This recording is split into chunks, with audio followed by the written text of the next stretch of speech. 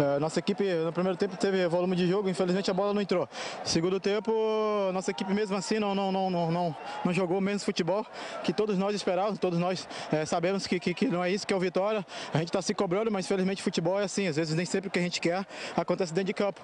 E depois mais, é, a jogador de cabeça quente, a gente tem que ter consciência, independente de, de como esteja o resultado, a gente tem que ter equilíbrio, principalmente emocional. E depois a equipe acaba se perdendo. Se perdeu no, no caso da expulsão do Rildo.